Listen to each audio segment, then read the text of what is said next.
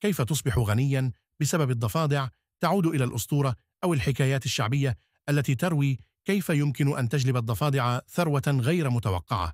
هناك أيضا قصص واقعية أو نظريات تتعلق بكيفية استخدام الضفادع في مجال المال والأعمال. إليك بعض الطرق التي يمكن من خلالها أن تؤدي الضفادع إلى الثراء. في بعض الحكايات يعتقد أن الضفادع يمكن أن تكون حاملة للكنوز أو الرموز للثروة.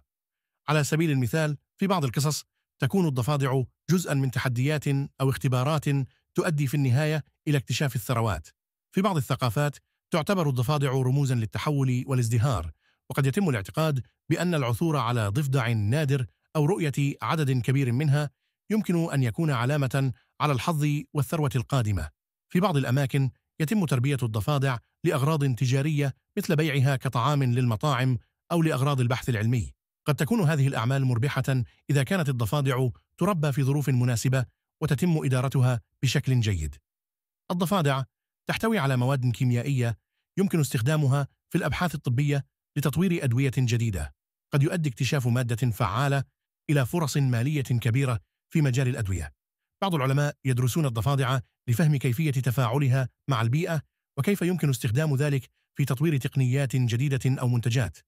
هذا البحث قد يؤدي إلى اختراعات وتجارات جديدة. قد يكون تربية الضفادع كحيوانات أليفة أو عرضها في حدائق حيوانات مصدر دخل مستدام. هناك طلب على الأنواع الغريبة أو النادرة من الضفادع كهواية ترفيهية. في الأساطير الصينية يقال إن الضفادع يمكن أن تجلب الحظ والثروة. على سبيل المثال تمثل الضفدع الثلاثي الأرجل التي يمكن العثور عليها في الفنون الصينية الثروة والازدهار.